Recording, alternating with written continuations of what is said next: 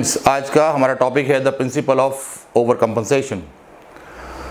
overcompensation nature ने हमें एक मैकेनिज़्म दिया है, एक सर्वाइवल मैकेनिज़्म दिया है, जहाँ पे जब भी बॉडी पे कोई लोड पड़ता है बॉडी ओवर कंपनसेट करती है अडेप्ट करती है, ज़्यादा स्ट्रांग होके। अब आप, हमने जिम में बड़ा कॉमनली देखा होगा, हम बड़ा रेगुलर जो वेट ट्रेनिंग करते हैं, आपने उसमें कैलेस फॉर्मेशन या आपने देखा होगा, गांठें बन जाती हैं हाथों में। This is also part of a survival mechanism that is also part of overcompensation to protect the skin वो चमड़ी को बचाने के लिए ये हार्ड हो जाती है, ताकि चमड़ी में और ज़्यादा डैमेज ना हो। अब हम gym scenario weight training scenario की बात करें तो पहले हम ये देखते हैं कितनी तरह का हम पीरियोडिक ओवरलोड अपने बॉडी में डालते हैं, उसका सब्सिक्वेंट ओवर कंपनसेशन कैसे होता है? मतलब उसके रिजल्ट्स कैसे ट्रांसलेट होते हैं एज ओवर कंपनसेशन तो हम जिम में करते हैं one repetition max one R M जो मोस्टली पावर लिफ्टर्स करते हैं। इसमें मैकेनिकल वर्क इतना ज़्यादा होता नहीं है और टिश्यू डैमेज या प्रोटीन डिग्रेडेशन इतनी ज़्यादा होती नहीं है बट इसके अंदर जो जो अडेप्टेशन होती है that is more of neuromuscular adaptation इसके अंदर there is more of rate coding as in nerve firing and there is synchronization as in कि हमें वन रेपिटेशन मैक्स में जब हम इतना लोड उठा रहे हैं जिससे हमें सिर्फ़ एक रेपिटेशन मैक्स कर सकते हैं, उस टाइम पे जो न्यूरोमस्कुलर कोऑर्डिनेशन मतलब नर्व्स की और मसल्स कोऑर्डिनेशन इतनी परफेक्ट होनी चाहिए कि हम वो रेपिटेशन तरीके से कर पाएँ।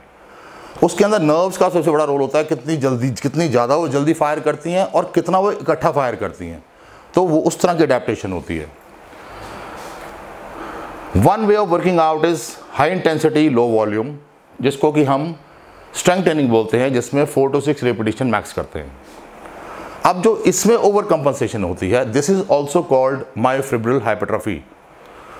myofibrils जो हैं मसल सेल में कंपोनेंट होता है, जो बाकी किसी सेल में, किसी भी बॉडी की और सेल में नहीं होता। एक मायोफिब्रिल एक ऐसा कंटेंट होता है which contains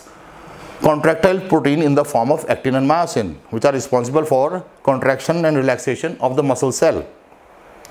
when we do 4 to 6 strength training, high intensity, low volume, we induce a damage in the muscle, we induce a trauma जहाँ मसल सेल की डिस्ट्रप्शन होती है. That is followed by inflammatory response वहाँ पे उसके बाद inflammation होती है. Followed by immune system response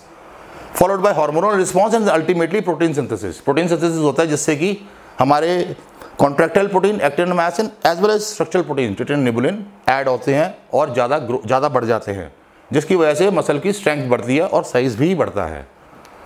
दूसरी तरह का वर्कआउट होता है moderate intensity moderate volume six to twelve repetition max now this is called sarcoplasmic hypertrophy this is mechanical stress where there is tissue disruption this is metabolic stress also called sarcoplasmic hypertrophy where we use energy system that is glycolysis glycolytic energy system को हम use करते हैं। इसके अंदर हम A T हमारा use होता है, इसके अंदर ग्लाइकोलिसिस यूज़ होता है। अब अगर हम मसल सेल को एनालाइज करें मसल सेल में क्या क्या होता है?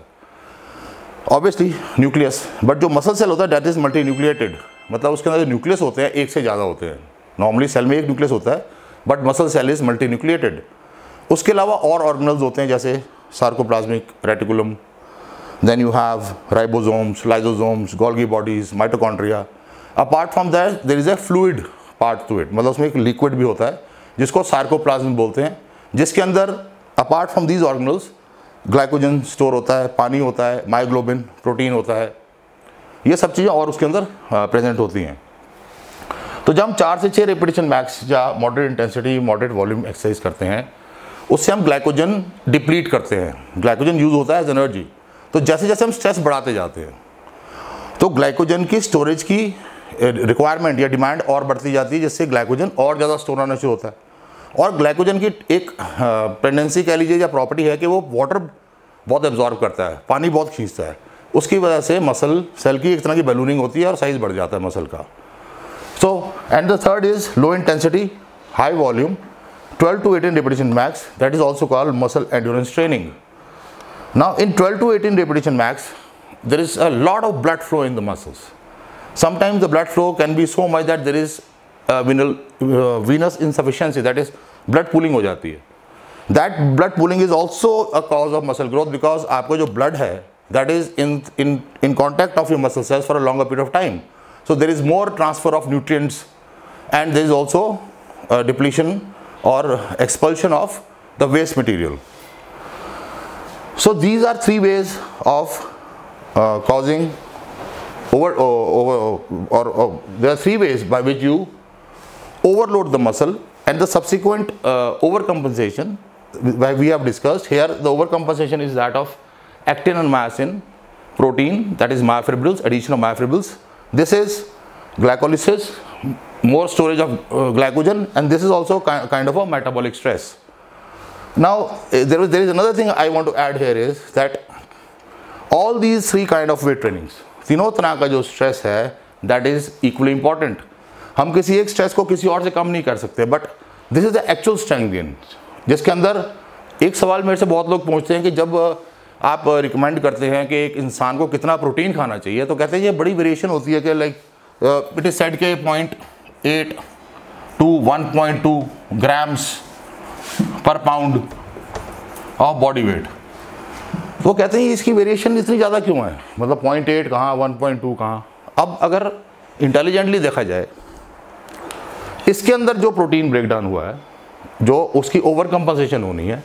definitely here your protein requirement will be on the higher range in this case where there is more of addition of sarcoplasm या ग्लाइकोजन की एडिशन होती है, इसके अंदर प्रोटीन थोड़ा सा कम ले लिया जा सकता है क्योंकि इसमें आपने करना क्या है? इसमें आपने जितना आपका मसल मास ऑलरेडी प्रेजेंट है उसको मेंटेन करना बोथ स्ट्रक्चरल भी और कॉन्ट्रैक्टाइल भी। So this was my episode on over compensation and the next episode will be the specific adaptation to impose demands जहाँ पे